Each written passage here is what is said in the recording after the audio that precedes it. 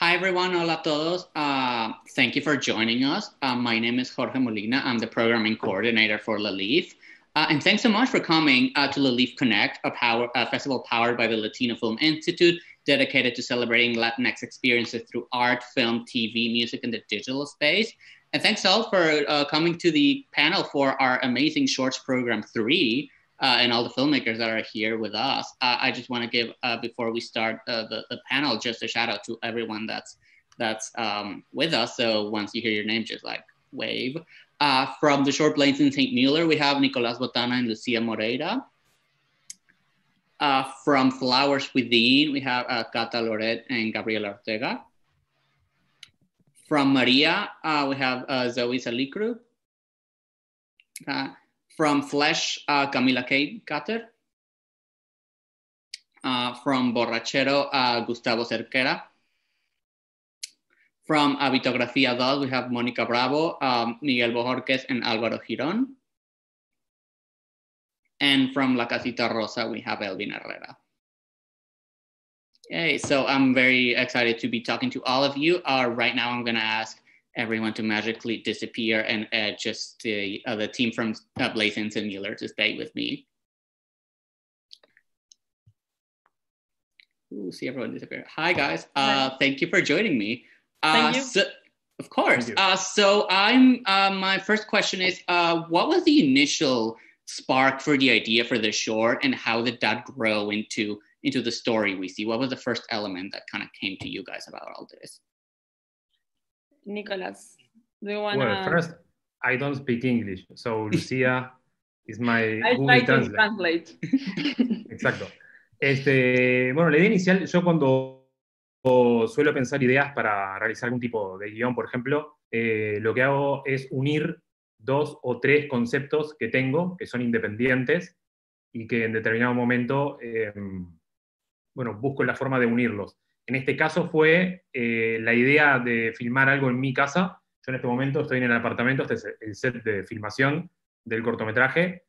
Ahí está la ventana que aparece en el momento. Aprendí la lección de que nunca más voy a filmar nada dentro de mi casa. Pero bueno, esa fue la idea por razones de economía y bueno, por tener el apartamento a disposición. Y la segunda idea fue una escena de otro cortometraje anterior donde uno de los personajes eh, contaba la historia de un sujeto que ponía un churrasco en, en, el microondas para calentar y el churrasco salía cada vez más crudo, porque había como un portal en el tiempo en ese microondas.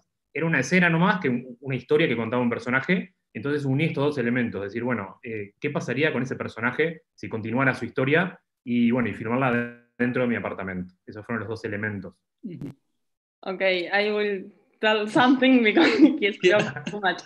So he starts working with two concepts that um, he like uh, through his life is adding up and putting together into his new stories. Blanes Mueller is one of that that uh, unites two concepts. One of them is one of the previous short film that is about a, a piece of meat that runs through time and it, it, it stays raw and the other one is the wanting and also something that we talked about that is was uh, to to film the the to shoot the short film in a, a, limited space that is his apartment what is he now and that's the set film. Yeah that's so my, Blanes yeah. Street and Mueller is my address in fact. Yeah in real life. Oh brave of you yeah, to just put it out the there. Window, that's a window that appears on the short film when awesome. the, the Jorge 1 and Jorge 2 come yeah, together and talk. uh, speaking of Jorge 1 and Jorge 2, uh, I'd love uh, for you guys to tell me how was working with actors and especially with someone who basically has to portray uh, two versions of the same character. Like, what are the conversations that you guys have with him to help him uh, prepare and, and reach that? Yes, okay. Eh, well, Sí, es un, es una, un actor con quien yo ya había trabajado antes. Bueno, justamente en este otro actor with him, he already worked with. So Exactamente. it had the, the experience already. Exacto. Y bueno, fue mu mucha conversación más que nada. Eh, nosotros ya hemos trabajado, entonces ya nos conocemos y bueno, fue conversando con él. aprobando, él me sugería cosas, íbamos viendo. Y bueno, una cosa que, que habíamos arreglado es que como el personaje viaja a través de un microondas, una cosa medio rara, un portal en el tiempo, que le va generando como una especie de lastimadura en el rostro, entonces pensamos que tenía que ser un personaje un poco sufrido, y de hecho, bueno, Lucía va a hablar un poco ahora porque en, el, rodaje, en la vida real, él eh, al tercer día de rodaje más o menos empezó a sentir unos dolores muy fuertes en la espalda, que no se podía mover en un momento y el rodaje estuvo suspendido. Entonces una, una frase que él me dijo fue, eh, voy a utilizar este dolor para componer el personaje. Entonces terminó siendo un elemento que jugó a favor, digamos, en el momento del rodaje. Claro, claro. Yes. So the, the, the, actor that plays the, the principal character was in her was in pain through the, the whole shooting of the short film. There was like a back pain, and it, he himself said that he was going to use that pain to to uh, enrich the character mm-hmm. you know the, the, the whole interpretation. And it was good with that part but on the other hand it stopped the, the shooting for almost a day and we were like running through the doctor and and going back and forth knowing with the ad telling telling, telling her that what, what are we going to do with this and that was kind of uh, experience. yeah, well, the pain definitely shined through in the short. Um, thanks so much for joining us. Uh, we will have you guys back at the end, but uh, thank okay. you guys for being here. Thank uh, you. Now, I'd love the team uh, Flowers Within and Flores Dentro to join me. Hi, uh, Gabriela and Kata. Um, so, I'd love for you to tell me what was this is a story that you guys created together. Uh, what was the first conversation that you had uh, that kind of was the the seed uh, the, the seed of this flower that became the short?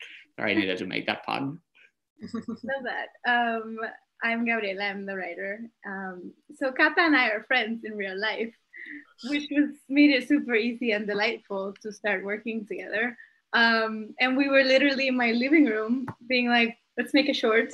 And the first question was, what makes us angry about being a woman sometimes and, and our upbringing and, and what makes us upset and what do we want to say? Um, and what was beautiful about that conversation was that we started talking about our own personal experiences, which to me is like the most uh, honest storytelling. Um, and what was great was that and also kind of like incredible is that our experiences, even though she's from Merida and I'm from Dominican Republic, were very similar. We both struggled with the way we had to look all the time, and the standard felt so attached to our value as people, and like it was so high, and and also how complicated our first female friendships were because we were always pinned against each other, and there was this sense of competition everywhere we go. And so the beautiful the way that we wanted to translate it in, into the, the film was like, how do we make this into a visual moment, you know, rather than just like that, how do we translate those feelings?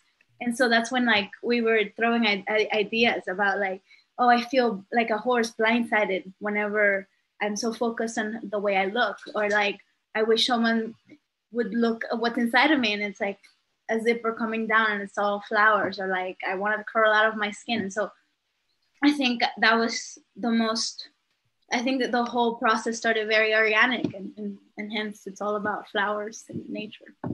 No, of course. And, and that really uh, comes through.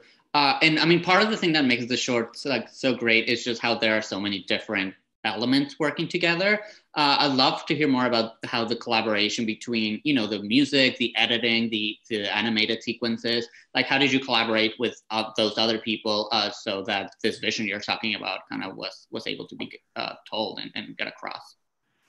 Well, this film, I feel like it's truly a film about collaboration because all these individual parts, not only my story and Gabriela's story, but everyone else um, really uh, it, they were people that I most of them I met last year and so it was a very beautiful way to to collaborate with new people that all each I feel like their elements really made the whole story come together one of the key people was uh, Vicente Manzano, the editor, and, and he did also the photography for the short.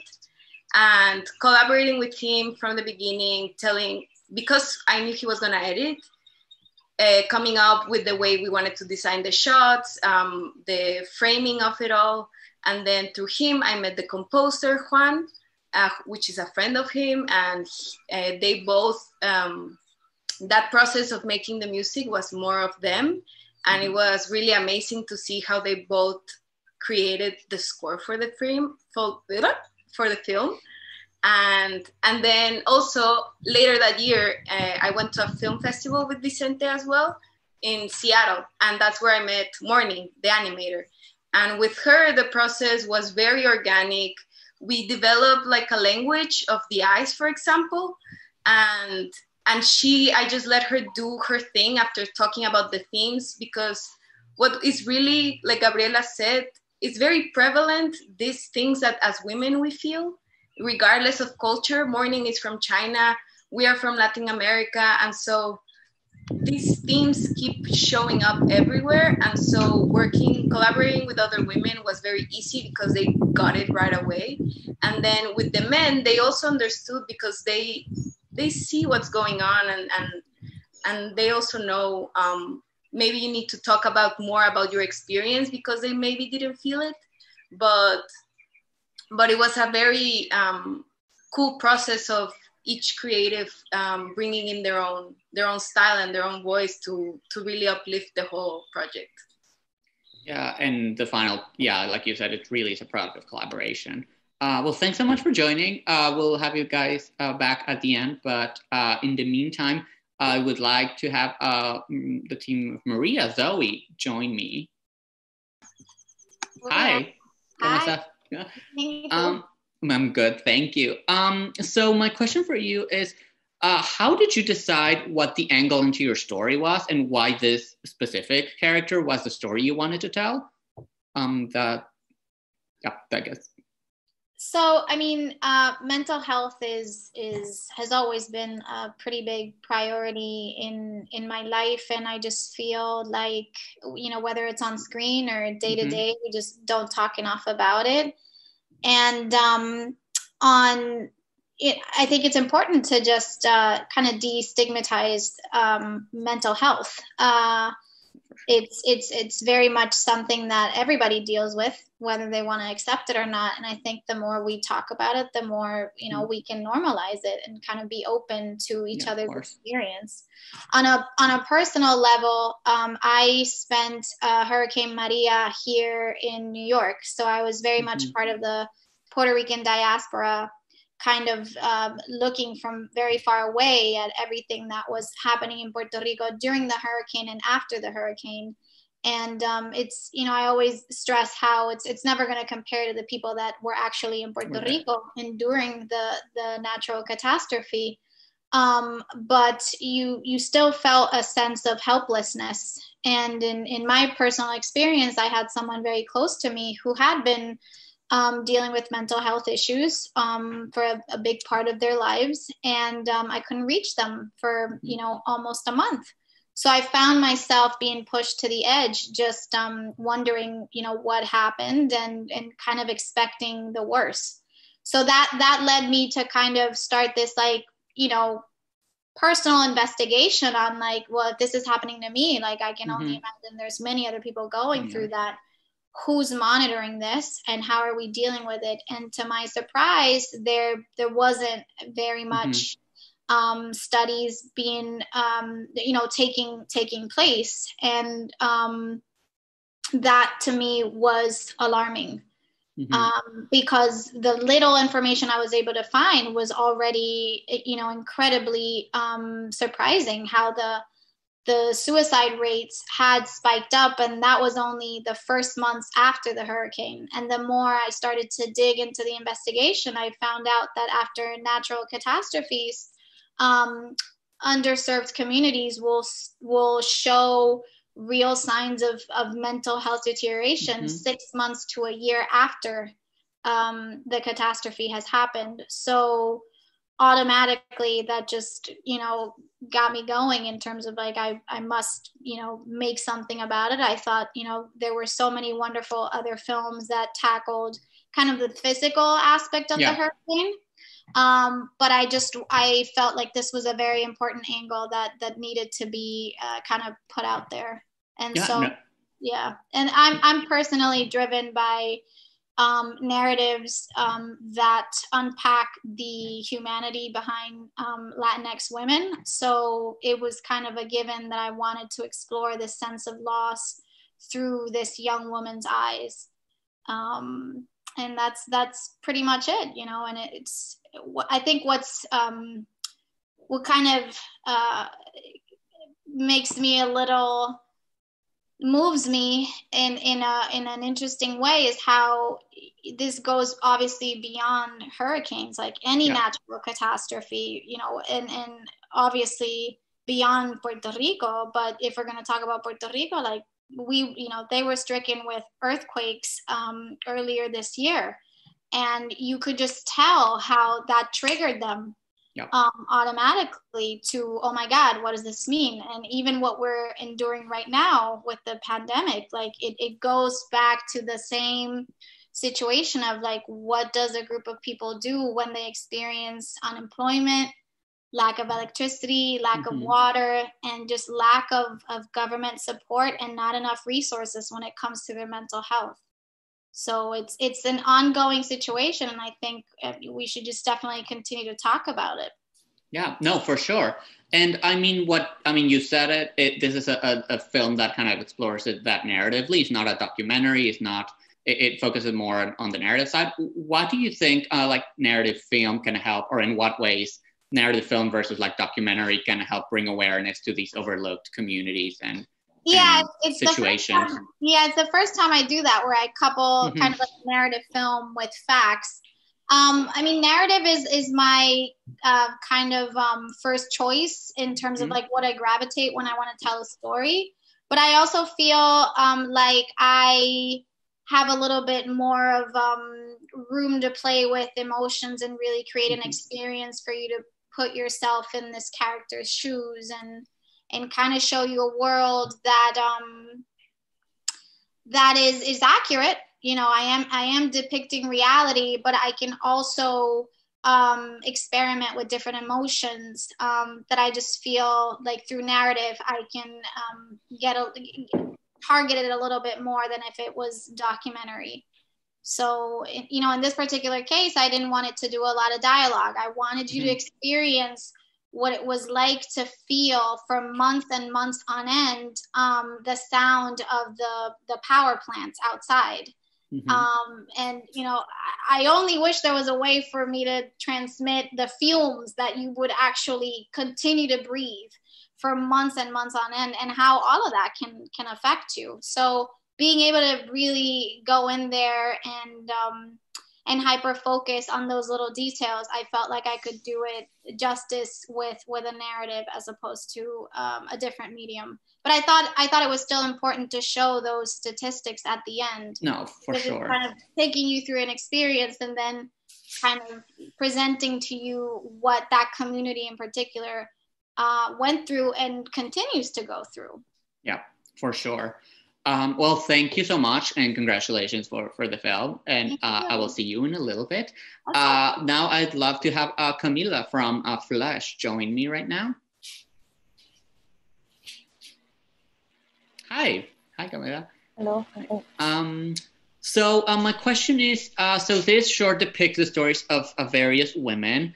Uh, my, my question is, how did you find them and how did you decide like what, what, what kind of stories you wanted to tell? Were there mm, like did you have to pick from within a group, or how did you decide on, on these particular stories? Okay, so uh, the film uh, Carne was structured uh, in five chapters. Uh, we had this ironic association between the meat cooking points and the women's phase of life. So um, from that, I created some profiles for, for, for each protagonist, each chapter which character. And then uh, we did a lot of research to find those women. We uh, released a form online and we also had some indications from friends. And we interviewed uh, six women, and we we kept uh, five of them.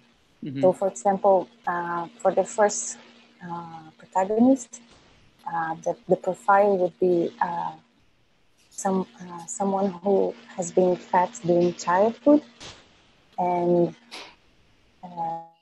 this was the, the profile. So the story we, we didn't know yet. Yeah. Um, uh, only after the interviews. Oh, that, that's that's really fascinating. Uh, and another uh, aspect that I really love about that, uh, or the way that the story unfolds, is just how every single segment has a different form of animation.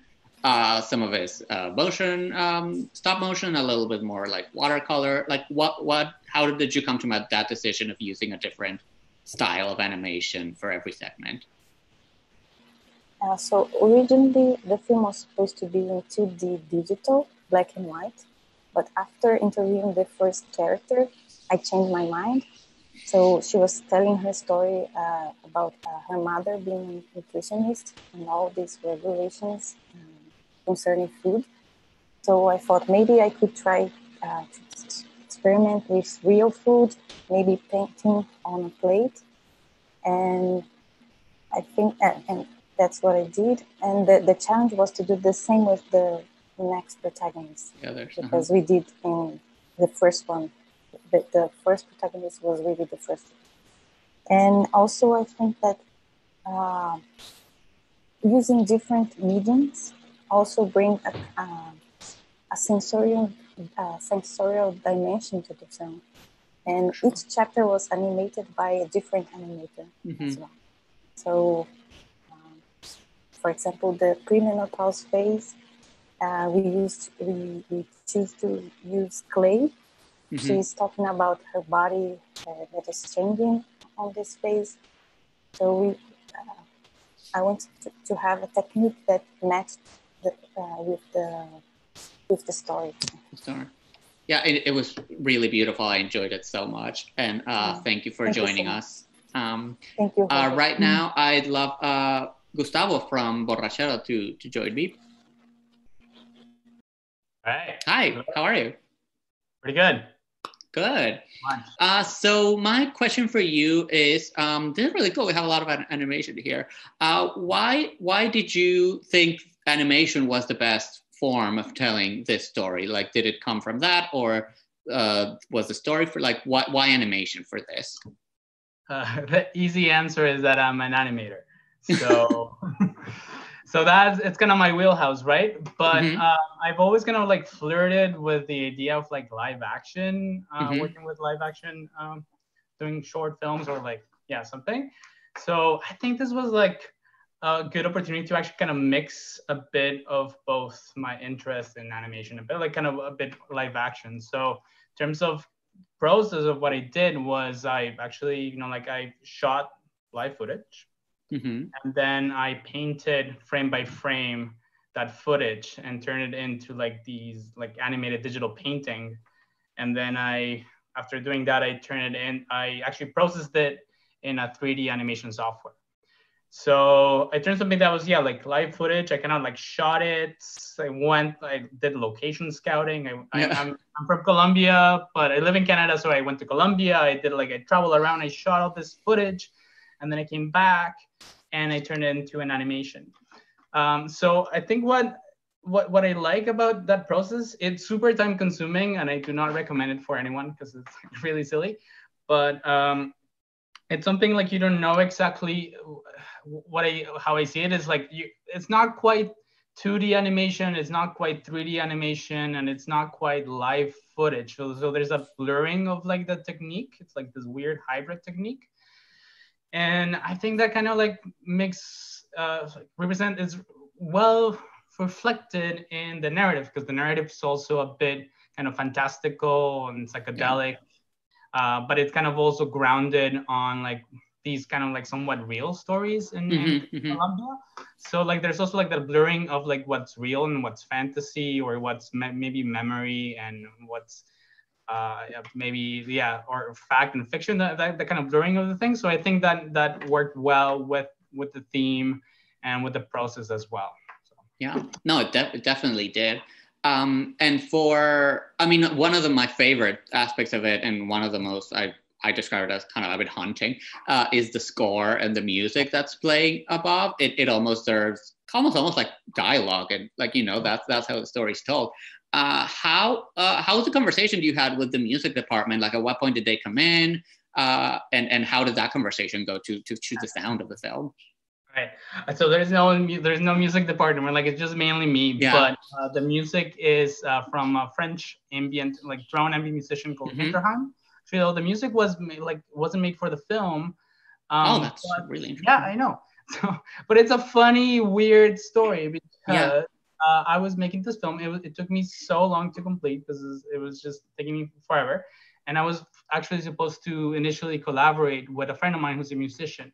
Hmm And we had this plan like two years ago. We were gonna collaborate on this. He was like on board, whatever. I just got delayed on on this process, and then I was making this, and I didn't want to give him anything that was like, like I wanted to give him like a rough draft of the animation. So I was listening to a lot of like Jóhann Jóhannsson's uh, soundtrack for like Yeah. Mandy and Arrival, and I wanted something like that ambient and drone. So like I was I was a fan fan of Hinterheim, and I knew his work, and so just like oh like you know, let let me just put this here for now, and then I kind of build the animation around it. Uh-huh, uh-huh. And like so like I sent it to my my my friend that my collaborator and then it's just like okay so this is what I have. This is the soundtrack. Like th- hopefully this should give you an idea of what I kind of want.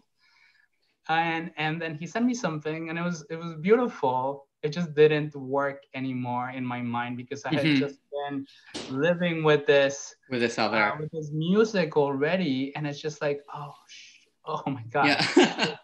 not gonna work. So I promised him I was, I was gonna do something else with the soundtrack that like that he that he sent me. Uh, but yeah, so that it was just like it's just weird like when stuff like that happens and it's just like something I was in unintended. It was unintended. yeah. Well, But I think it was just like when things work, just like that's kind of what it was. And also like there was supposed to be boys, as you said, like also there was Mhm. supposed to be uh, a voiceover as Mhm. well. So like all the dialogue that's in like the subtitles was supposed to be a, a voiceover. And then at the same time, just like like I was thinking about it, like you know, getting like an actress to record it, and just like just started to pare it down, pare it down. Just like I wanted to keep it as simple as possible in a way. Like I just like had to like edit a lot of stuff down.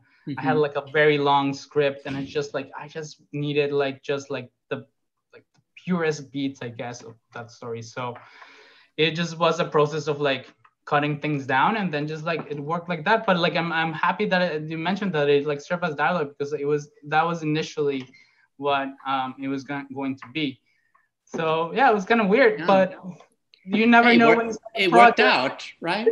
things It- go in like weird weird directions but i think that's what i enjoy of this process it's like very unexpected No, like, for sure. Um, the- well, thank you so much for for joining us. Um, yeah, of course. Uh, right now, uh, the team for uh, Habitografía 2, um, Monica, Miguel, and Alvaro, if they can join us. Hi. Hello. Hello. Um, welcome. Thank you for joining us. Uh, so my question for you is, uh, how did you decide which types of scenes and little vignettes you wanted to depict? How is that selection process going? And uh, I'm going to throw in uh, an audience question with that, which is they're asking if if this was based on any specific city or uh, in Latin America. Well, uh, the starting point for these vignettes was was our memories, hmm our memories of um, living in our own city, Cali. But uh, there are at least other two cities that we we were trying to depict. Uh, Bogota here in Colombia too, and Buenos Aires, because there's there these two cities have uh, well we, we, we have some experiences in in in, in, in these cities too. Um, um, the the starting point well, uh, uh, but there there are other cities uh, in the maybe I can take over for a second. Yes. uh, as Miguel says, from the stand view of the drawings and the intaglio, that is the uh, background for the film, these are the main like spaces that we try to depict. But the sound uh, design has other cities that Alvaro and uh, well has uh, captured and has brought into that construction of that uh, kind of imaginary, if you might, uh, location. Huh? So Mhm. it's not necessarily only Latin American. I'm sure it has more of Latin American uh, vibes than um, North American, but uh, I'm also sure that there's some other places that you can find there in the sound. No, Varo? You- What do you think?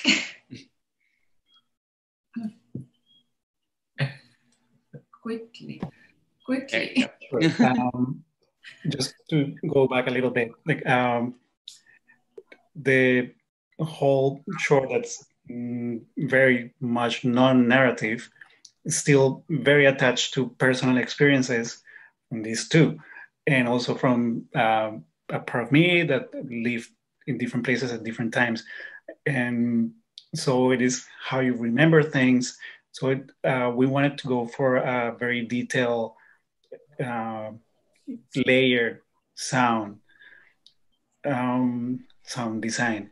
But um, if you start piling up too many layers then you get uh, this cacophony and we can play with that but also it's good to have for example a walk late at night where there's like the city calm so Yeah. we, we had very very long conversations ongoing conversations for months uh, deciding how to play with sound and with silence and uh, it all comes from a very lived experience Mhm. and i think that enriches the both the visual and the sound design And, and that goes as well for the, the question that you were uh, Mhm. asking, which is where the where does the the actions, let's say situations, we like to call them situations more than Yeah. actions because it definitely it steers away from action. Um, so the vignettes uh, uh, come from the memories of our of our movement Mhm. in a the same movement in the same city in the same way we just we up our research was mostly to observe intensely the same things we do every single yeah day. yeah. And take notes and draw and draw and well draw and draw and, uh, and talk as well a lot. But these are things that happen in our lives all the time. The people that walk around is the people that we see and the Yeah. peop- and we are there as well. As characters the both of us are there somehow Yeah, no, this intimacy really, like that you're talking about, really, like the short really does feel that way. Um, uh, Alvaro was mentioning uh, that this is very much not a narrative film, uh, but I, I would say that there's still a story that's being told, uh, and that comes through. Uh, so why, why do you think uh, animation is? I mean, this is a, a little bit of a broader question, but like it's a perfect way to tell these like more non-traditional stories, and you can like explore maybe these these different types. Why is animation like a good way for doing that? Well, um, uh, I, I don't think we we don't think animation is the best way of, of tell this story of, of to, to make this film. Uh, but we we found this this book about uh, post narrative uh, uh, cinema cinema wri- written by Horacio Munoz, and, uh, and we liked it very much. And in this book, he de- uh, made some the- theoric developments about post-narrative in live action. Um, uh, and we, Monica and, and, and I, we, we draw every time. And I am a- an animator. And um, then we, we, we think uh, about these, uh, these concepts developed in the post-narrative, in live action, could be translated to some kind of uh, post-narrative animation. And so we, we, we started this exploration, this experiment, yeah. Yeah, so we, well, we, came up with a small little term that was uh, contained animation. Mm-hmm. Which oh, that's beautiful! I love that. Kind of, it kind of answers to the other traditional type of mm-hmm. animation that you see in, in like mainstream uh, films, in which people animated people. Uh, yeah. When they jump, they really jump, and when they do, they really do. And what we wanted to do was really just contrive, like keep it really small so and repetitive and tense. Yeah. No it's it's it's be, it's a beautiful short and thank you so much for for being here with us. Um thank you. and of course uh, mm-hmm. and uh, for our final uh, short of the night i'd love uh, elvin uh, from la casita rosa to to join us. Hi. Hi. How are you Good. Nice to finally meet you. nice to meet you as well. Um, so I, would love to hear how did you how did you hear about these women, like these amazing women, and and at what point did you say like, okay, I'm gonna approach them like this is a story story worth telling? Well, in my undergrad, I double majored in filmmaking, but also in Chicana Chicano studies. Mm-hmm. So as I was learning more about my cultural background and learning more learning more about myself and um, where I came from, um, I started mixing both majors together. I realized that I wanted to become a filmmaker that tells the, these types of stories um, about social justice. Mm-hmm. And um, I had just gotten my Facebook account and I was like adding all these pages, all these political pages and yeah. uh, nonprofits. And one of them posted a, a, video, a video of these women, las patronas, um, throwing these survival, essentially their survival pa- um, packages to these um, immigrants that are riding the train, which they call la bestia. Mm-hmm. And um, it just left such an impact as a young filmmaker. But I felt like I wasn't mature enough as a filmmaker to pursue something, to pursue a, a, a film about them in that scale. Mm-hmm. It wasn't until grad school when I was um, brainstorming ideas for for my thesis that I um, stumbled upon that video again, looking through my, you know how Facebook tells you like, oh, five years ago you like this, or you yeah, yeah.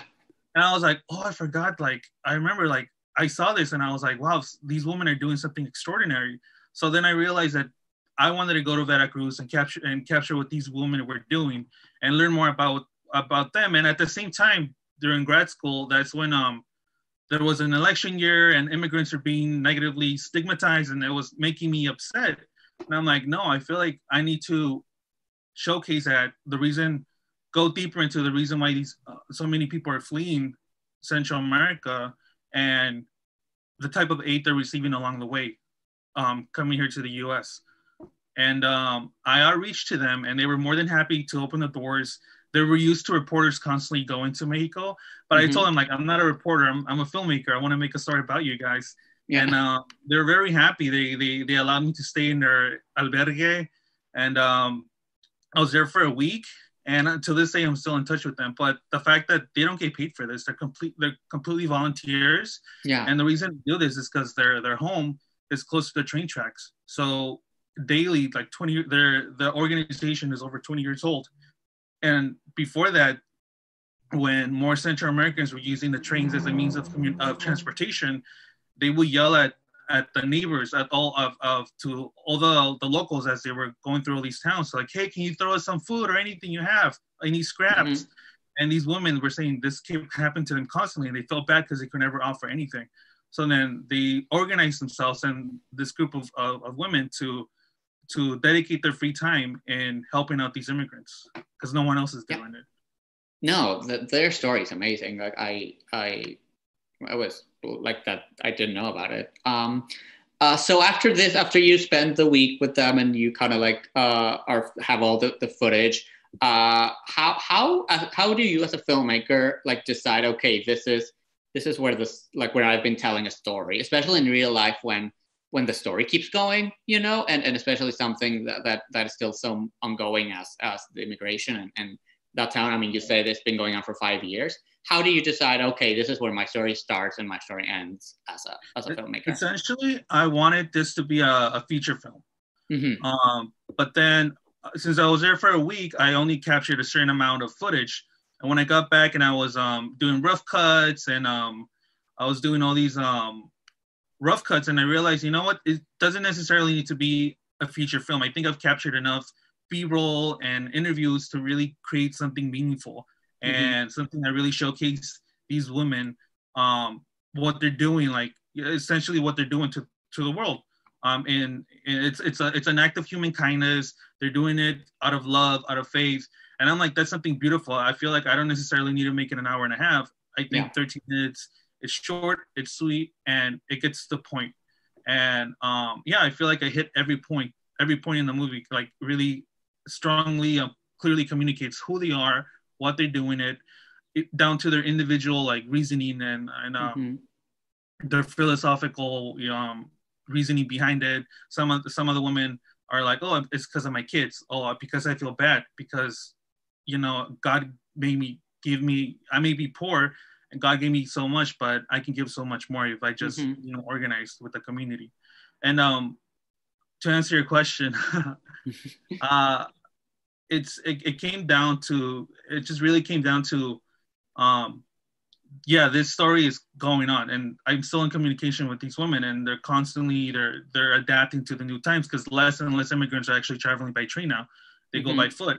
Um, but I feel like I was capturing an era, an era that was coming to an end for them because yeah, uh, this whole train system is no longer um, something that's used as widespread for immigrants that are traveling up north. So I feel like I was capturing that that moment where like they were transitioning to what they do now, which is they just open up. They've created this network of other albergues in Mexico, mm-hmm. where um they'd be like, okay, your next stop will be in this state and this town. So you told the immigrants that are going by foot, like, go this way and you'll get to your next stop. Versus yeah. they were just waiting for them to come in the train. And the reason why the decline of the of, of immigrants using the train is because southern in southern, if you go deeper south into Mexico, there's gangs and the politicians that are actually harassing them not to use the train anymore or asking for like a quota for yeah. them to use it. And obviously they're coming with nothing, so they can't pay and there's just fear for their lives. Yeah. Uh, that's awesome. Well, I, I do think you you attained a perfect uh, uh, what you wanted to do. So thank you for for coming. Uh, so I think now I'm going to ask everyone to just come back um, for our final uh, question. I don't know if uh, there's been any other uh, audience Q and A's, or I can just proceed to the final question. If I can just um, get a. Um, okay, I I'll just uh, be asking um, a quick question from each of the teams. Uh, which is what is the the next step for you and the film? Like, if, if people want to find it somewhere else, can they? Uh, is it in, in storage? Just like what are the next steps for this project? Uh, so uh, Blazing St. Mueller, if you want to. No, for now we are starting the distribution stage, really. We don't have it online yet, and this is actually the world premiere, so. Oh, wow, how honored we are. Um, uh, flowers, Flowers Within? Same, also premiere and doing more festival runs. Awesome, so stay tuned. Uh, Maria? We are actually going to be at another uh, online film festival soon. We're, we're not allowed yet to say which one, but um, if you check us out on uh, my website, um, you will we'll send the announcement as soon as we can. But we're pretty excited to continue to share the film, whether it's on festivals as we've done so far or this new virtual journey. Yeah, awesome. Thank you. Uh, Flesh. uh, flash. Uh, so the film will be in, in other uh, festivals like Monstra and Annecy, and maybe afterwards, uh, uh, and uh, we want to do some something like a series of this oh. the same idea. Awesome, that would be really cool. Thank you. Um, Borrachero. Uh, just a bit more festival run that's kind of it, pretty much. I've I already started a bit earlier on, but yeah, that's that's all. and see what happens. Yeah. Great. Uh, Habitografía dos. Well, we just we just finished the film actually, like what a week ago, something yes. like this. Yes. So this is the premiere as well, and we're just starting the festival run and the distribution uh, legwork. And but we are invited to a film uh, a festival which is not necessarily a film festival in Manizales, which is called El Festival de la Imagen. They deal with the moving image, Mhm. I think, or the image itself. Mm. Anyway, so yeah, this is the second uh, step. But thank you for having us because this was uh, also our world world Thank premiere. you. That's, that's amazing. Uh, and finally, uh, La Casita Rosa. Um, this is the fourth film festival that it's been accepted to, and thank you so much for LALIFF for accepting it. Um, and um, it's only been shown here in the U.S., but I want to premiere it in Mexico to film festivals festivals over there. Because I mean, I'm also kind of jealous that all the film festivals that I've gone to here in the U.S., I see all the directors with their cast and crew and the step and repeat, and I would just go by myself. Um, but I do want to premiere it in Mexico and invite the women to come sc- to the screening and you know introduce them because it's really it's them who put me who made me a better filmmaker um, but documentary filmmaking is my passion so i want to continue looking out for um, other interesting stories that i can capture Awesome. Well, thank you all of you for for joining us. Uh, it was great having to talk to you and and um, and and see your your art. Uh, and thank you everyone who watched this. Uh, please stay tuned. We have a great musical performance uh, by Crisol coming coming up next. So stay tuned. And we still have another week of amazing uh, films and, and programs for you at LALIFF Connect. So just go to uh, latinofilm.org to check everything out. Uh, and thank you, everyone. Have a great rest of your evening. Thank Thank you. you. guys. Thank you so much. Nice to meet you. so nice to meet you